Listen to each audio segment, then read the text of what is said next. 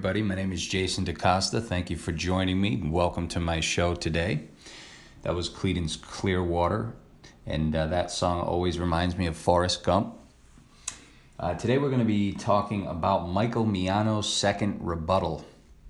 All right, we've been uh, going through this Israel only debate between Miano and Bradley, and Miano has been affirming the position of full preterism with a continuation of uh, all of the promises that have already been inherited by those to whom they pertained. And Michael Bradley is affirming Israel only, or what we would call consistent preterism, which sees that the last days were actually last days.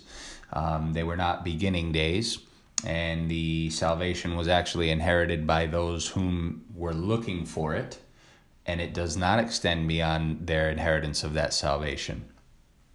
So, um, that is what the debate has been on, and Michael Miano issued his second rebuttal a few days ago, and um, I've been sort of trying to stay in touch with a few people to get the gist of how this debate's been going on Facebook and in the circles and in the groups, and um, from what I hear, it's not going very well for Miano. They did a poll uh, recently, and, and he was pretty much way down right from the start.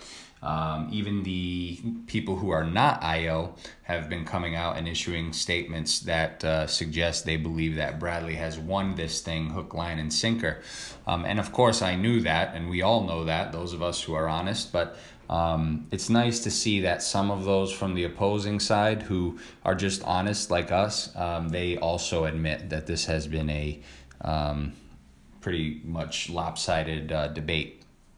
But um, what I wanted to do is go through uh, Miano's statement and just kind of take a look at some of the things he said and hold them up to the scriptures and see how close he came.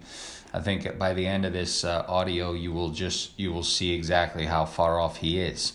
Um, so we'll just kind of start. It's it, I have some notes and uh, we'll just kind of go through his main points. There's maybe uh, 15 of them or so.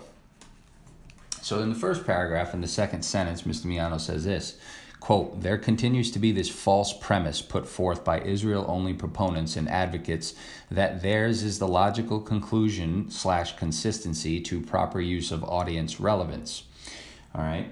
So Yes, actually, it is, Mike. Uh, our interpretation method holds audience relevance strictly and, and rigorously, and we do not let it go when it becomes convenient or when it um, becomes inconvenient. We maintain audience relevance all the way through. We look at passages like Hebrews, uh, I think it's 9, where it speaks of how Christ dealt with sin on the cross the first time, and he would return again apart from sin for salvation to those who eagerly waited for him. So we see that the people that were involved in this narrative were actually looking for their salvation and waiting for it to occur. And that was the end of the story when the, the kingdom, which was Jacob, was delivered back up to the Father. And as we know, Jacob's, Jacob was fully saved, according to Paul in Romans 11, by the end of the age when the fullness of those in the nations of Jacob were brought back in and in this way all Israel was saved. But uh, the the irony is that Mr. Miano says that that we're not applying audience relevance. Nobody could apply audience relevance more strictly than we do. Okay, so that argument to me is just uh, useless. Um, his second point comes just after that. He says this quote. Also, of course this comes by way of the complicit ignorance that has been demonstrated regarding the meta narrative and narrative that is outlined throughout the Bible. Um, okay, so just a little uh, information on Michael Miano's imaginary meta narrative. All right. Um, now, when when those of you who know, have known Mike for a long time know that prior to this Israel only view um, sort of bursting forth on the scene, maybe six months ago, um, the the term meta narrative and the concept and idea of a meta narrative from Mr. Miano was virtually unheard of. Okay. Um, you didn't hear him really teaching on it. It was surely not a central point of his doctrine. Okay. But ironically, now that uh, Israel only has sort of burst forth and is gaining ground, he's um, developed and invented this idea of a meta narrative. Okay. Um, and this meta narrative suddenly becomes the key to unlocking it all for Michael. It's also the core element and it's the way into the story, says Michael. And uh, others have said it too. Ah, look, the meta narrative, it's been revealed. Now it's crystal clear. Well, this meta narrative didn't exist six months ago. And um, it's just an imaginary made up idea that Michael decided to use as his core main argument for this debate. And there's really no basis to it. And I've seen some comments uh, from um, IO opponents that even say it's ridiculous. So um, the meta narrative idea is just very, very silly. And uh, for those of you on Facebook who have seen my uh, memes on the meta narrative, I'm sure you uh, get a kick out of those because those are some of the, my favorite ones to do. Um, the next thing I wanted to look at was his artificial uh, borders statement. Uh, let's see, where was it? Oh, he says, quote, Furthermore, in this rebuttal, I intend to continue to demonstrate what I asserted in my opening statement that the IO view creates artificial borders around terms, passages, and implications of Scripture. Well, I'm sorry, Mike, but uh, Romans 11, where Paul says the fullness of the Gentiles will be coming in before the end, and in this way all Israel will be saved, to me is not an artificial border. It's an artificial border for you because you don't like its implications and its outcome.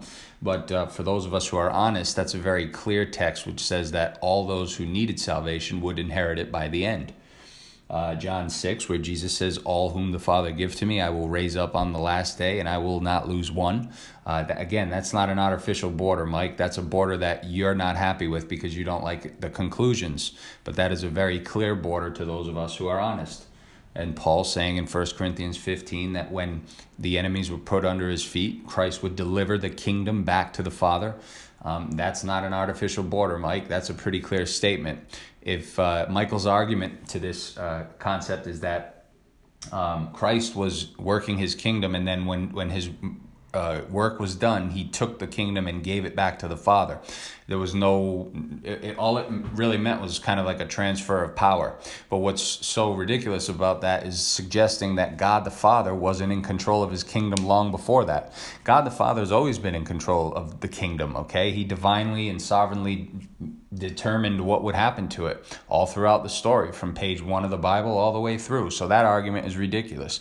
Of course, God was in control of his kingdom while he was building it in the last days. That's the whole point of the story. So when Paul says he delivered the kingdom back to the Father, there's a, a real deliverance that was going to take place, as in a real transfer of the kingdom to the Father wherever he was. Okay, and this, I believe, ties in with them being caught up and them being uh, taken away where they would forever be with the Lord and them being changed in the twinkling of an eye because flesh and blood could not inherit the kingdom and so on and so forth. So uh, the artificial borders argument is just silly. It's played out and it's just artificial because you don't like it. Okay, but the borders are certainly there. I can assure you.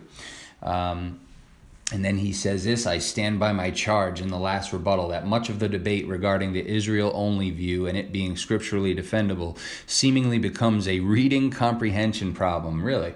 Uh, and then he says, as is evident from Mr. Bradley, among other IO proponents and advocates, confusion that the Israel only view remains unchallenged. And then he says, maybe they can't comprehend what I am writing. And he puts a bunch of exclamation marks and question marks. And uh, that sentence just has me Googling over here, okay? I've been Google festing over it. And uh, the reason is, is because we can certainly comprehend what he's writing, yet we can certainly see with crystal clarity that none of it addresses any of the problems. All right, he's developed his own meta narrative, his own imaginary way back into the story, which no theologians have really uh, mentioned in, in the hundreds of years. It's just a Miano thing that has now suddenly come to light. And, and of, course, he would say he's believed it all along, even though you can't find him teaching on it, you know, prior to uh, Israel only. But um, the meta narrative thing is just silly, okay? And uh, we can certainly comprehend what you're writing, Mr. Miano. Um, and then the next paragraph, he talks about the intellectually honest he, he, no, he says, prayerfully as we move forward, Mr. Bradley will discern to be intellectually dishonest and not resort to assuming the attention of those who, as he notes, have an interest in preserving their ministries, careers, book sales, and reputations. This continues to be a straw man tactic set up in discussion with IO proponents, and that is why conversation between other leaders in full preterism and the topic of IO has been discontinued contrary to the constant assertions that these leaders are avoiding dealing with the dismal and depressing conclusions and implications of the IO view. Well, isn't that just the pot calling the kettle black, folks? I mean, here we have a full preterist who um, tries to debate and pin futurists in the corner and has probably himself used the argument that they just want to continue to keep people in that and you know keep people in fear and sell books and do the whole futurist thing. So they do it to the futurist but now when somebody bigger and badder comes along and they're doing it to them um, then it becomes a, a sort of a problem because now they don't want to discuss this so called view with them because these men are hurting their feelings. Well, let me tell you something, okay? Um, the fact remains is that this is not a straw man tactic. A straw man tactic is something that's not true. Okay, what's what's true is the fact that none of the big dogs within full preterism engage the IO people in an honest way. Okay, if they do, they dip their, their toe in the water really quickly and then they run for cover. And when they do dip their toe in water, they flood the waters with an abundance of babble that doesn't even relate to the topics at hand. They stay away from the key points.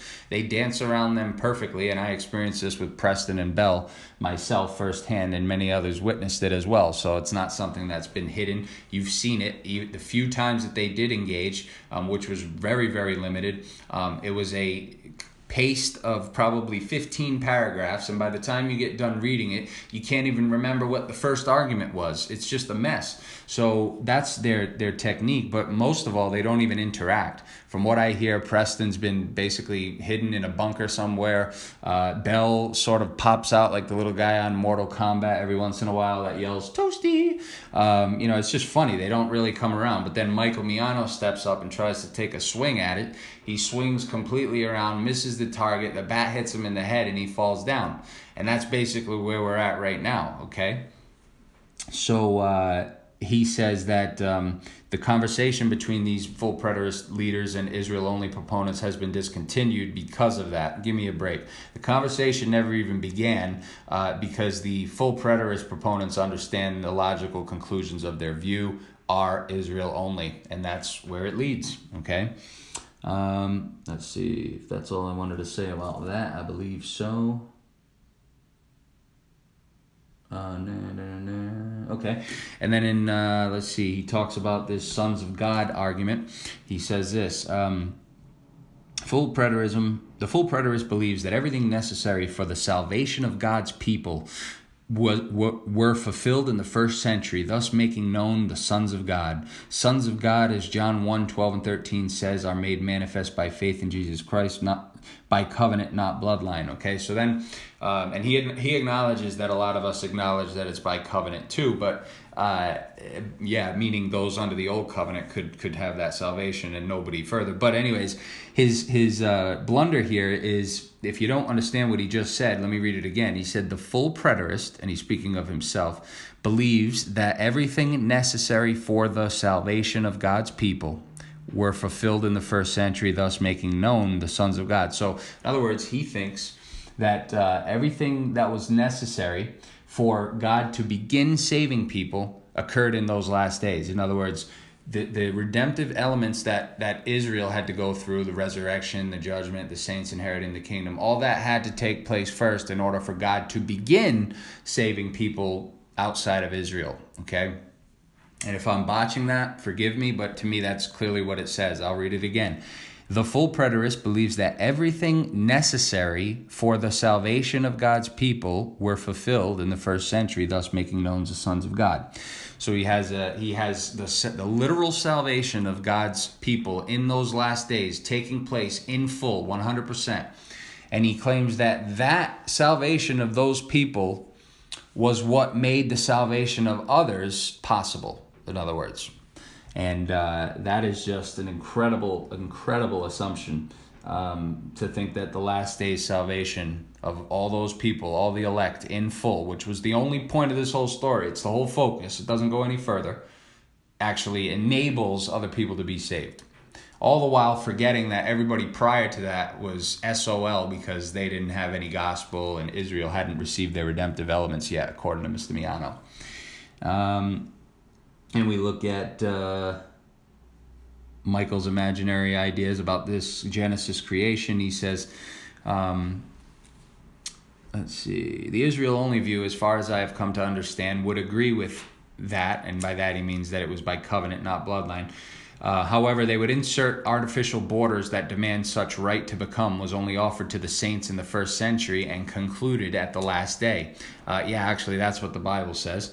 Uh, and then it says this runs against the proper understanding of not only what the not only what the goal of God's covenant creation was in Genesis chapters 1 and 2, but also fails to note why Israel was continually reproved throughout the Old Testament prophets as well as the totally misses the mysterious and greater things that would manifest, blah, blah, blah. So, what is he even talking about here? He always mentions this Adam thing, right? Like Adam was to evangelize, but he never gives any passages. He just says Genesis 1 and 2, where Adam was told to evangelize.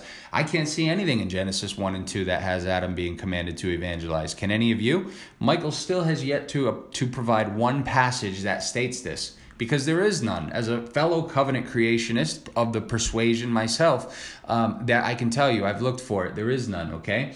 So the covenant and the, the relationship that God had with Adam was for Adam and his people. It did not include others. It was not uh, designed for the purpose of including others. Um, no, if God wanted to give others light, he would have. And Mr. Miano has still yet to provide one passage that even so much as hints at that. All right he will oftentimes say, uh, have dominion over them, where, where, God tells Adam to have dominion. All that means is have rule. He knows this. And he knows that the earth is not the literal globe. He knows that the earth is the land, okay? So all that simply means is Adam, as the high priest or whoever he was, the king of his people, um, was to rule and reign over his people in that land. That's really all it is. It doesn't have anything to do with anybody further, okay? Uh, and then Michael looks at this. He, he's got a pretty weak uh, Jew and Gentile argument here, which I'm about to show you.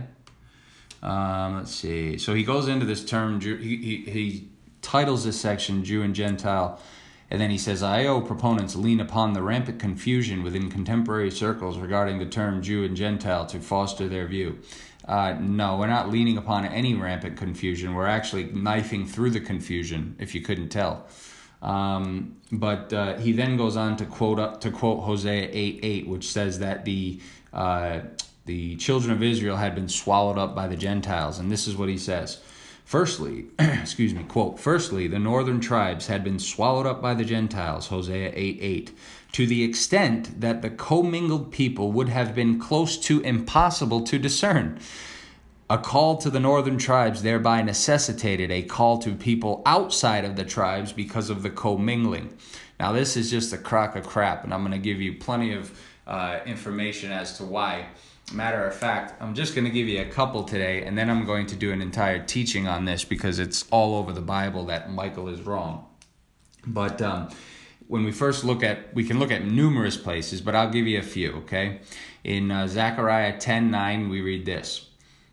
I will whistle for them to gather them together, for I have redeemed them, and they will be as numerous as they were before. Ready? When I scatter them among the peoples, they will remember me in far countries, and they will and they with their children will live and come back. I will bring them back from the land of Egypt and gather them from Assyria, and so on and so forth. So, right away, we can see that God, when He had driven them out, um, He would scatter them, but they would remember Him. Okay, so what Michael's suggesting is that um, God, even though all these promises in the Old Testament about God not forgetting them, them not forgetting God, and them being brought back with their children, all these specific promises, Michael's saying, ah, God couldn't do that. It would be impossible for God to discern his own people. This is the same Mike Miano who uh, believes all the, you know, spiritual, incredible, miraculous stuff that the Bible says. But yet God couldn't keep his his people safe throughout the, the generations and keep his people together and keep his people alive for the sake of of the, his remnant according to election? I tend to think he can, and that's all over the Bible, such as Amos 9 9, which says, For surely I will command and I will sift the house of Israel among all nations, as grain is sifted in a sieve yet not the smallest grain shall fall to the ground.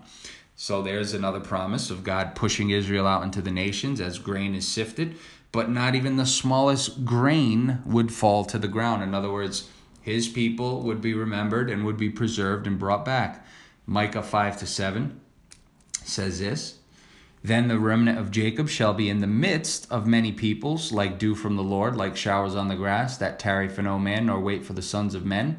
And the remnant of Jacob shall be among the Gentiles, in the midst of many people, like a lion among the beasts of the forest, like a young lion among flocks of sheep. All right, so what's God saying? He's saying the Israelites were going to be in the midst of Gentiles, not mixed with Gentiles. They were going to be in the midst of Gentiles, like a, a, a weak animal in the midst of beasts, okay? And, and like a, um, a fish out of water, I guess you could say. So that's really all it is, all right? But if you, if you look at it, it's always coming back. In other words, God has always has a promise for them that He would bring them back, and I trust that God preserved His people in whatever way He deemed necessary. I don't have to question that. I just go by what this says. Okay. Michael seems to think that God was incapable of discerning um, from his people, between his people and, and outsiders. Um, and then, of course, we know where this all comes from, don't we? I mean, Deuteronomy. If this isn't the icing on the cake, then I don't know what is, okay?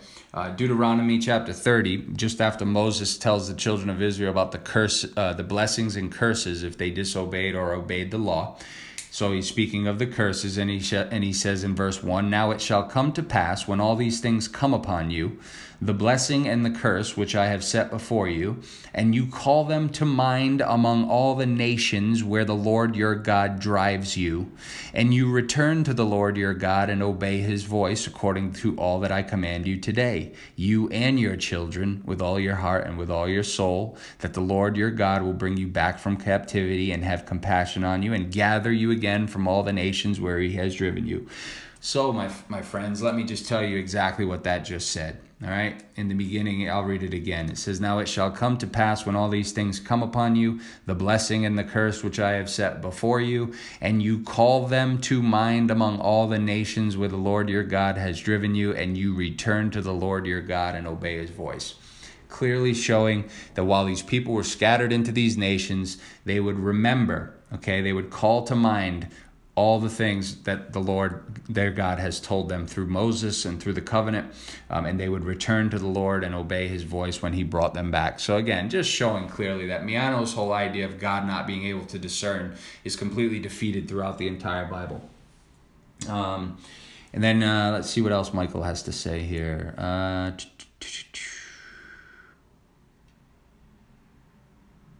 bear with me uh, on his kingdom of God continued thing. Uh, he says this. Um,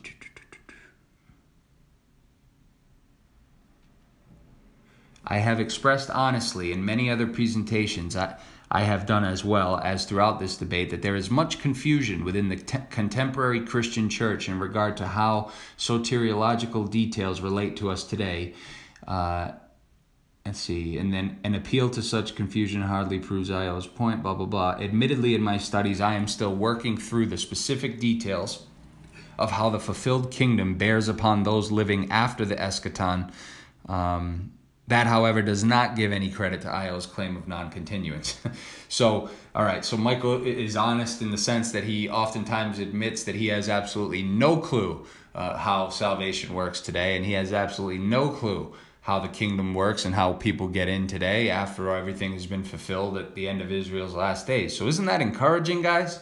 All you who uh, go to Blue Point Bible Church, um, and I'm not knocking on you. Hey, you like your church? That's cool. You continue to go. But isn't that encouraging that um, Michael has no clue about how to get into the kingdom and doesn't understand it and, and needs clarity on it? That just really shows you that you know you get that good old assurance there.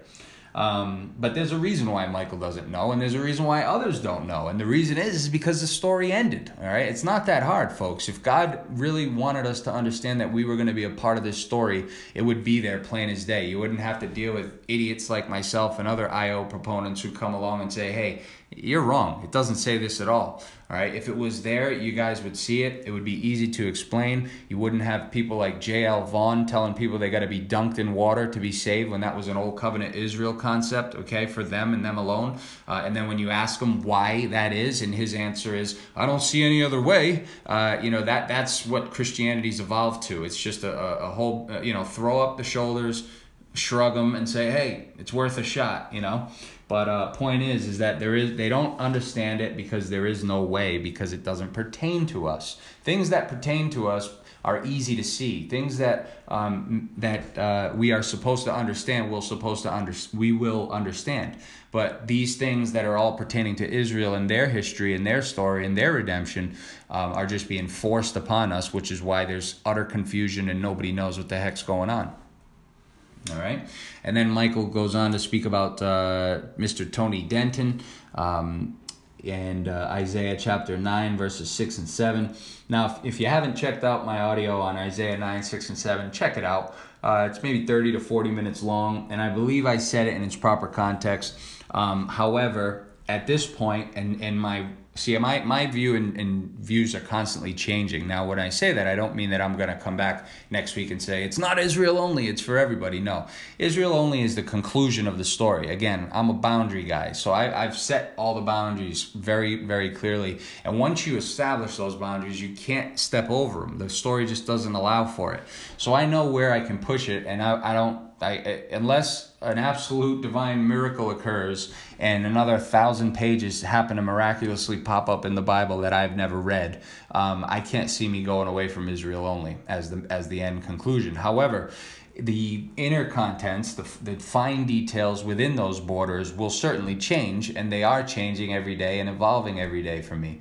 Um, and one of those things is the proper setting and proper context of Old Testament passages that I believe are completely botched and taken wrongly. Okay, and, and I believe that there's a possibility that Isaiah 9, 6, and 7 in this portion um, is not a, even a messianic text. All right, um, obviously, we know it's not even mentioned in the New Testament. But that's not the main reason. The main reason for me in, in, in thinking about this is that Christ was always called the prince of his people, Israel. All right. Um, Daniel, in the very end, says at the end of Israel's days, Michael, the, the prince of the people, he stood watch over the people of Israel. That, to me, Michael is Christ. Okay. Uh, Christ was always the prince of his people. Daniel uh, said that, you know, Michael would stand up at that time, at the end of their days. And then, ironically, in Acts, when we see Stephen getting stoned, we see Christ stand up. Um, to me, there's some sort of correlation there. I'm not quite there yet, but um, I believe that Michael is surely uh, Christ. Uh, he's the the uh, archangel, and arch means chief. Uh, Michael in the in Hebrew means who is like God. We know that the uh, uh, at the last trump, the arch, archangel was going to come down, and, and with the voice of the angel, he was going to call up the dead.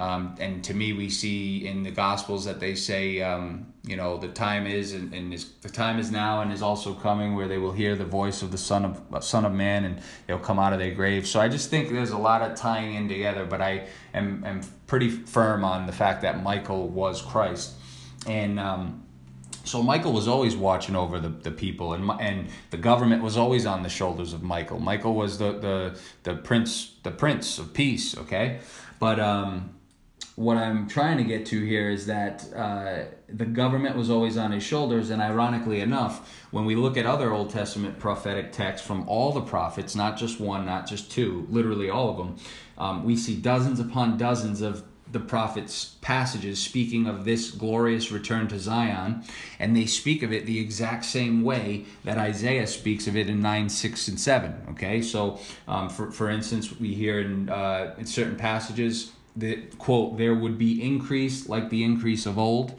Um, speaking of this this return to zion there would be increase like the increase of old. Well we know from uh, isaiah 9 6 and 7 um, it says that uh, let's see of the increase of his government and peace there will be no end. Well again many passages speak of the second temple period as there being increased like the increase of old. Their offspring would multiply. Their men would men would be increased upon the grounds of israel. Um, we read that there would be uh, peace for all the people. There would be joy and rejoicing in the city. Um, there would be uh, uh, their offspring would multiply. Their, the law would be back in their land again, according to the return to Zion and what actually took place there. They would be under the law. It would be written on their hearts and on their minds. And then, of course, we see in, in Isaiah 9 7, at the end, it says, Upon the, the throne of David and over his kingdom to order it and establish it with judgment and justice. From that time forward, even forever, the zeal of the Lord of hosts will perform this. So, again the, the things that throw people off are the terms forward even forever. Really just just means a long period of time. Every single place i come to can be proven that the second temple period the, the covenant made when they were brought back to zion is always referred to as an everlasting covenant forever forevermore. Um, it's just a long period of time because obviously we know that came to an end in AD 70 but um, the point here is that we see that there's judgment and justice in this period. Okay, um, the, the kingdom would be established with judgment and justice. Now, in order to have judgment and to, to have justice, you need to have a law. All right, and you need to have a law that's established. Well, in AD 70, the law passed away, every jot and tittle. Okay, so um, how would this kingdom be established and ordered with judgment and justice um, if there were no law there governing it? All right, to me, that, that kind of doesn't make much sense.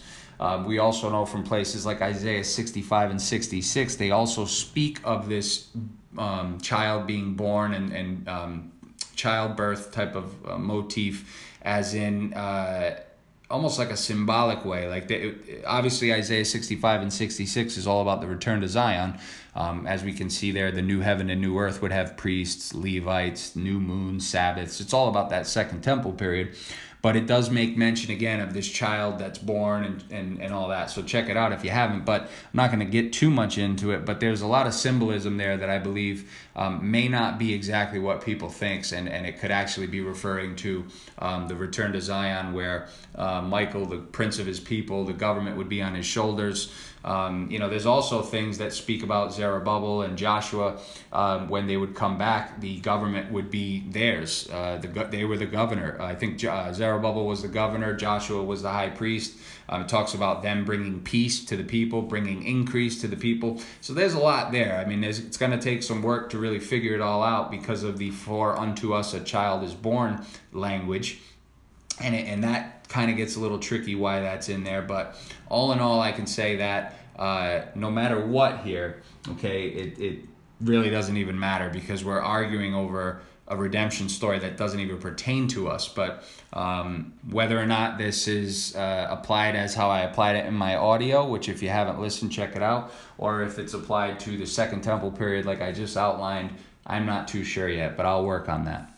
Um, and then Michael also mentions Isaiah 49, which is funny. Uh, so he, let's see.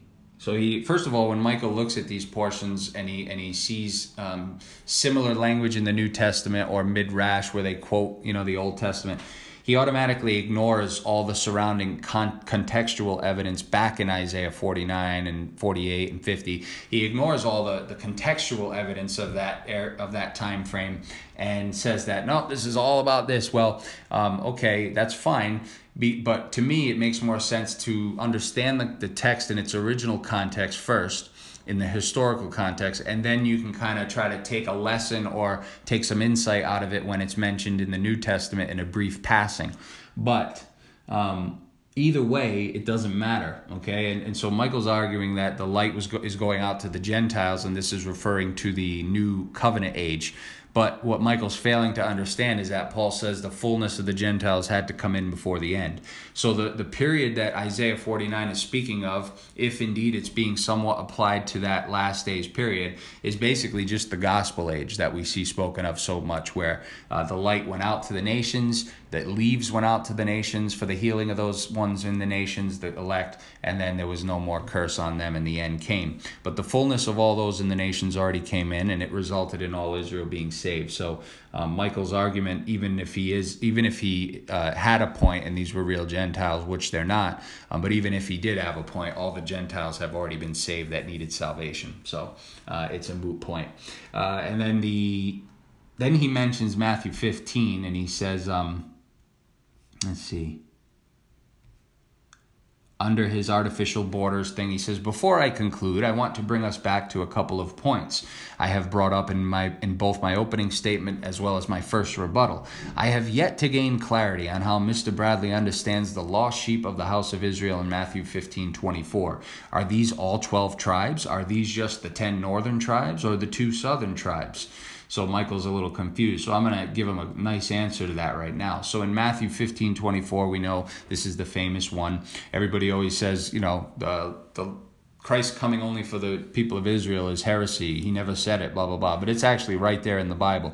Jesus said, I was not sent except to the lost sheep of the house of Israel. That's Matthew 15, 24. And this is basically simply just redemption, okay? Jesus came for their redemption. All right, so I'm going to explain that to you in a second, but I want to read Michael's next statement right after he, uh, right after he makes that statement. He says this, after we get an answer on that, then we can begin to wonder or gain clarity on who the Canaanite woman was and what she meant by the crumbs that fell off the table. And he's referring to the next verse, which says, um, Then she came and saying, Lord, help me. But he answered and said, It's not good to take the children's bread and throw it to little dogs. And she said, Yes, Lord, even the little dogs eat the crumbs which fall from their master's table.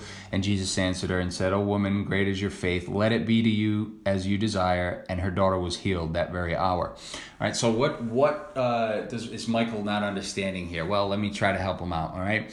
Jesus' mission came was that he came for the 12 tribes of Israel. That was who needed the redemption. That's who was in focus the entire time and nobody further. The elect that were being sealed on the forehead were clearly the 12 tribes of Israel as shown clearly in Revelation 7 and they were from every nation, trunk, uh, tongue, tribe and kindred and they were seen standing clothed in white having inherited their redemption and their promise in Revelation 7 there at the end.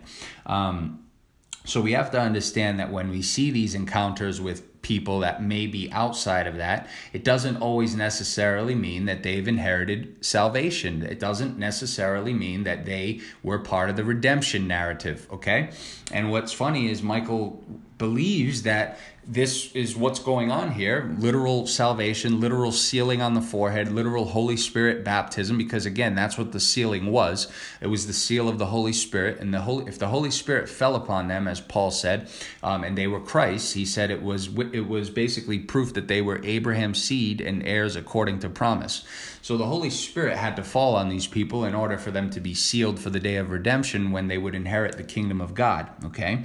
Now, show me in this passage where this woman, this Canaanite woman, um, was sealed with the Holy Spirit. She wasn't, okay, at all. There's nothing there that even suggests that. So Michael would also look at all the times where the apostles just walked by people and their shadow healed them of any sickness or disease. And Michael would say that those people were saved and part of Israel's, you know, story, redemption story, and they were, you know, sealed with the Holy Spirit just by that shadow falling on them. Um, but really, the, the point that's trying to be made here for me is that these conversions, I'm sorry, not conversion, these healings that we see throughout the Gospels and the, the accounts here have really very little to do with salvation in the redemptive sense. Salvation in the redemptive sense was the receiving of the Holy Spirit, the sealing of the Holy Spirit, the sealing on the forehead, which was for the 12 tribes of Israel, God's elect, okay? And it had nothing to do with anybody further than that as Paul says in Acts 13, as many Gentiles that were appointed to eternal life believed. So, unless they were elect, unless they were appointed to eternal life, they didn't believe in a salvific way. They didn't receive the Holy Spirit, okay? And so, again, this Gentile woman here who uh, simply just wants her daughter to be healed and, and shows that faith, and Christ has some compassion on her and heals her daughter, to me, pertains nothing to the redemption story of Israel. Um, and I think that's going to become evident here in one moment. But uh, I'm going to show you something. So Michael seems to be a little confused on who Christ was talking about when he said he was not sent except to the lost sheep of the house of Israel. And you know what's funny is they'll say that that's confusing. To me, it's very clear. Right? He wasn't sent to anybody. He wasn't sent for anyone other than them. But Michael doesn't seem to understand that. So you know he wants to make it difficult. But um, would God send Christ for on a mission specifically to save the 12 tribes and then suddenly change his mind because of a Gentile woman who talked about the crumbs on the on the on the table? Of course not. Um, I think that he showed her compassion and healed her, just like I think God shows us compassion today, myself personally, um, when we demonstrate faith. But this, I don't believe, has anything to do with Israel's redemption and salvation story. That was a whole story in and of itself, and that story came to completion. But these, perhaps we can glean something from these little stories where these uh, ones who are sort of outside of Israel's redemptive narrative um, are getting, you know, receiving some compassion in one form or another from God.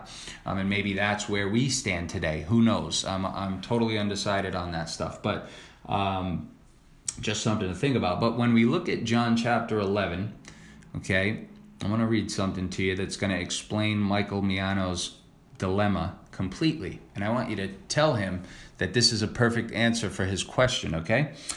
So uh, let's see. We're going to read from verse 45 forward. It's the plot to kill Jesus. It says Then many of the Jews who had come to Mary and had seen the things Jesus did believed in him. But some of them went away to the Pharisees and told them the things Jesus did. Then the chief priests and the Pharisees gathered a council and said, What shall we do? For this man works many signs. If we let him alone like this, everyone will believe in him, and the Romans will come and take away both our place and nation. Now, obviously, the everyone there is not the Romans because the everyone there in context were the Jews, okay? And he's saying every if if we let him alone like this, in other words, if we let Christ continue like this, everyone's going to believe in him, and the Romans will come and take away our place in nation. So obviously, the Romans were outside of that everyone category. They were a foreign nation, but he's speaking of all the Jews. So they were afraid that they were going to believe in him. And then verse 49 says this And one of them, Caiaphas, being high priest that year, said to them, You know nothing at all, nor do you consider that it is expedient for us that one man should die for the people, and not that the whole nation should perish. Okay, ready? And then he says in verse uh, in verse 51 it says, "Now this he did not say on his own authority, but being high priest that year, he prophesied that Jesus would die for the nation. And not for that nation only, ready? But also that he would gather together in one the children of God who were scattered abroad." All right. So let's read that again because I think this is going to really answer your question. All right. We know that all throughout the Old Testament, the Israelites were scattered abroad, okay, and they were the children of God, all right, and they were scattered out into the nations. And so we see here that uh, Caiaphas, the high priest, said to them, said to these people about killing Jesus, they said, "You know nothing." He said, "You know nothing at all, nor do you consider that it is expedient for us that one man should die for the people, and not that the whole nation should perish." In other words. Um, this is a sort of a picture of what Christ did for the people of Israel. He died for the nation of Israel, all right, rather than the whole nation of Israel dying. And then in verse 51, it says, Now this he did not say on his own authority but being high priest that year, he prophesied that Jesus would die for the nation. And not for that nation only, in other words, not for Judea, but also that he would gather together in one the children of God who were scattered abroad. All right, now let's go over to James chapter 1 for a moment, and I want to show you something. Look at how James begins his letter. James, a bondservant of God and of the Lord Jesus Christ, to the 12 tribes which are scattered abroad. Now, do you think James is writing to somebody different than who John is referring to in his the 11th chapter here when he says, uh, now, this he did not say on his own authority, but being high priest that year, he prophesied that Jesus would die for the nation, meaning the Jews, and not for that nation only, but also that he would gather together in one the children of God who were scattered abroad. Do you think the children of God who are scattered abroad there is different than the 12 tribes who were scattered abroad that James wrote to? Uh-uh. Nope.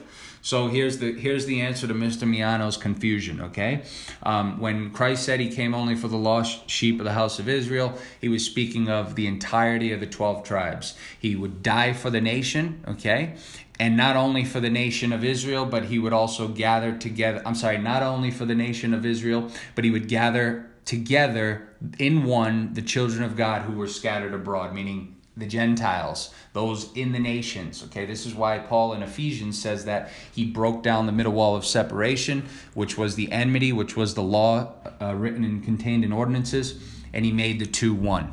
He says he came and preached peace to you who were afar off, meaning the scattered ones, and, and peace to those who were near. That's all it is. That's all the gospel was, was the breaking down, the abolishing and fulfillment of the law which brought the death, which was the curse, um, and and Christ made the two into one, and and took his bride to himself. Um, so that I hope really answers Michael's question because uh, the Canaanite woman never received any seal of God. She just received some mercy from Christ in in the fact that her daughter was healed.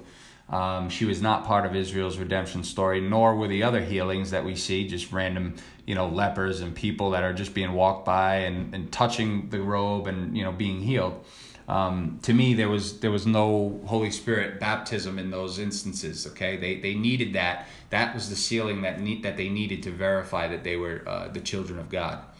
All right, and um, and then in, in Michael's the end of Michael's little blunder here in his uh, yet again third uh, unsuccessful presentation, he says. Uh, in Romans 11:24 we read about a good olive tree, natural branches and wild branches from a wild olive tree being grafted in. He says this is at least three different groups of people. Pardon me. Now I'm trying to find out where he's seeing three different groups of people. Let's let's read what he just said. In Romans 11:24 we read about a good olive tree, natural branches, and wild branches from a wild olive tree being grafted in. So he's got two trees there. He's got a good olive tree and a wild olive tree. He's got two types of branches. He's got natural branches and wild branches. So where is he seeing three different groups of people? This is simply the two different types of olive tree, which is Israel. You got the Jews and you got the wild ones as the scattered ones, and those wild ones are being grafted back in. Um, and the Jews, who are the natural branches, would also be grafted back in to the tree of life. Uh, let's see. And then the last thing, which is funny, he keeps going on this mystery stuff, but he doesn't realize that I've actually done away with that argument. Michael claims that the mystery that Paul speaks of in Ephesians um, was a mystery because it was never revealed in the Old Testament. So he says his argument is it can't be that the Israelites were going to be brought back because that wasn't a mystery. That was talked about all the time by the Old Testament prophets. But what he's missing is that the Old Testament prophets also talked about bringing the Gentiles back too. All right, and uh, and a lot of that had to do, obviously, with what I've been talking about. That those in the nations, meaning the Israelites, um, who were going to be brought back into the body of Christ, they were the ones who were being prophesied about in the Old Testament. But point is, is that the Gentiles coming back was no mystery either. That's all over the Old Testament as well. So the, the mystery Michael puts way too much emphasis on uh, not real, not realizing that neither the Jew, uh, not realizing that neither the Jew or the Gentile was a mystery. But all in all, I can think I think that you guys have seen today why Michael's second rebuttal falls horribly short and flat on its face. Um, the arguments uh, from a surface quick glance seem to be somewhat valid, but when you hold them up to scripture, they fall apart like uh, a moist uh, Toll House cookie. So, uh, anyways, I thank you guys for joining me. Um, hopefully, the uh, end of this debate will be good, and um, Bradley will finish off what he's done so far so good. And uh, I hope that many people see the truth of Israel only and that it is absolutely defendable from the scriptures and um, give it some more respect and, uh, and observation, which it rightfully deserves. So, anyways, take care, everybody, and I hope you all have a wonderful day. Thanks.